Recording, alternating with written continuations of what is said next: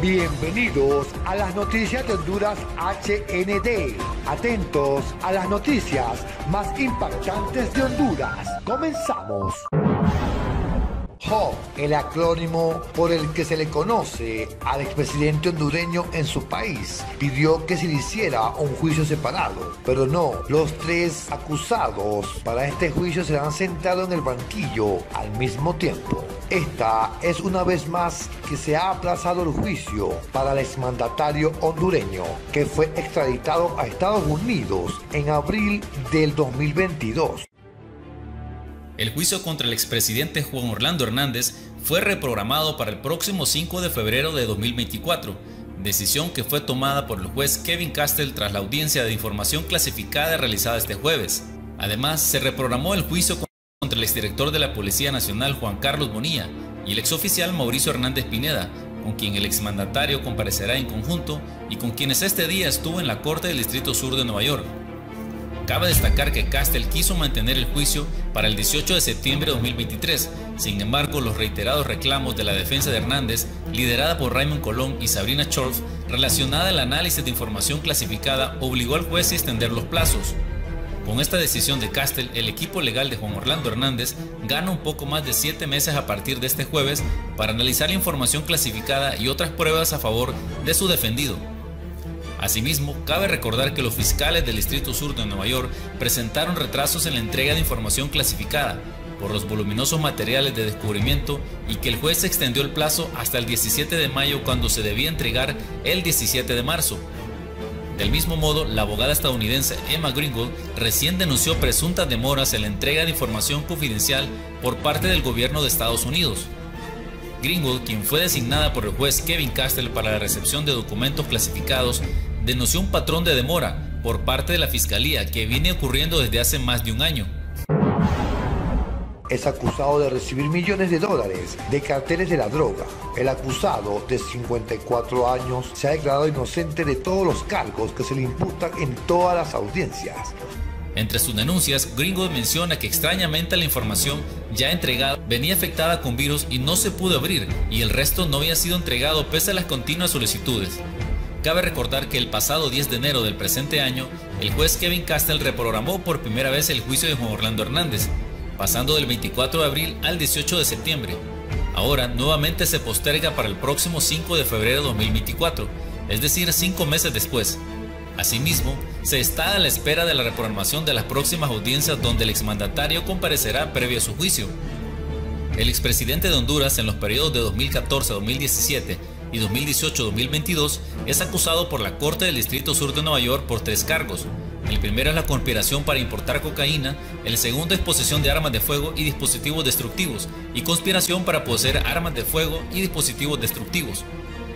De acuerdo a las investigaciones, el exmandatario participó en una conspiración corrupta y violenta de tráfico de drogas para facilitar la importación de toneladas de cocaína a los Estados Unidos.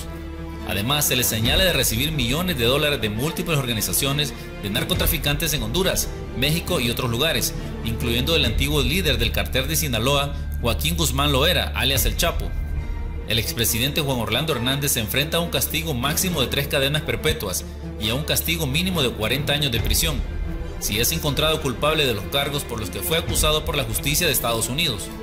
Por su parte, de acuerdo a las investigaciones, el Tigre Bonilla explotó de manera corrupta su cargo para facilitar el tráfico de cocaína y usó la violencia, incluido el asesinato, para proteger la célula particular de narcotraficantes políticamente conectados con los que alineaba, incluidos Juan Orlando y Juan Antonio Hernández. La firma de abogados que defiende a Hernández alega que agencias estadounidenses como la DEA, la CIA y el FBI poseen documentos que demostrarían la inocencia de su cliente. El exmandatario trabajó junto al gobierno de Estados Unidos como un aliado importante para combatir el narcotráfico en Honduras. La ex primera dama y esposa de Hernández, Ana García Carías, publicó un informe de la abogada Emma Greenwood, quien fue designada por el juez Kevin Castell para revisar junto a la defensa de Hernández documentos clasificados de las agencias estadounidenses, las cuales podrían demostrar la inocencia del expresidente hondureño. La abogada Emma Greenwood, nombrada por el juez Kevin Castell como coordinadora de la información del descubrimiento, es decir, de la información clasificada que las agencias de seguridad del gobierno de Estados Unidos deben de entregar al equipo de la defensa, ha presentado el día 14 de junio un informe al juez Kevin Castell donde le expone algunas de las circunstancias que actualmente está enfrentando. Las palabras del expresidente Juan Orlando Hernández aún mantienen las esperanzas entre sus familiares y seguidores en el país hondureño. La figura política que afronta cargos de conspiración y de narcotráfico sigue en la lucha, mostrando una fase alentadora para algunos, pero para otros no es así. Solo piden que se le facilite la verdad y salga a la luz pública para el mundo entero todo el daño causado por el mandatario hondureño. Compatriotas, la verdad es una fuerza liberadora cuando se revela. Es mi oración, la de mi familia y la de miles de familias hondureñas, que la verdad se revele y prevalezca en mi caso. He sido y estoy siendo sometido a un proceso de manera injusta. Quiero hacer eco de unas palabras muy potentes, muy poderosas, que dice, la injusticia en cualquier lugar es una amenaza para la justicia en cualquier parte. Ustedes saben que trabajé incansablemente con el propósito de recuperar la paz de Honduras. Dimos nuestro máximo esfuerzo por nuestra nación y es lamentable que aquellos que convirtieron a Honduras, en uno de los países más violentos en la faz de la tierra, que esos villanos ahora quieran ser héroes.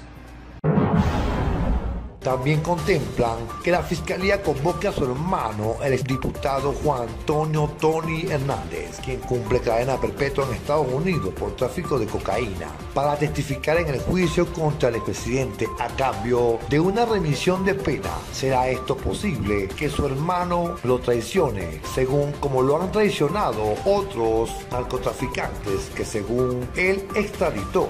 Los documentos federales señalan que entre otros Tony Hernández, el exalcalde del Paraíso Copán, Alexandre Grande Ardón y el cartel de los Valle Valle desembolsaban los fajos de dólares por cada cargamento. El acusado además reclutó a otros oficiales de la Policía Nacional para proteger los envíos de cocaína hasta la frontera con Guatemala y en varias oportunidades escoltó personalmente los cargamentos, que oscilaban entre 1.000 y 1.500 kilogramos de cocaína, Suscríbete a las noticias de Honduras HND. Déjanos tu like, déjanos tus comentarios y no te pierdas las noticias más importantes de Honduras. Nos vemos en un próximo reporte.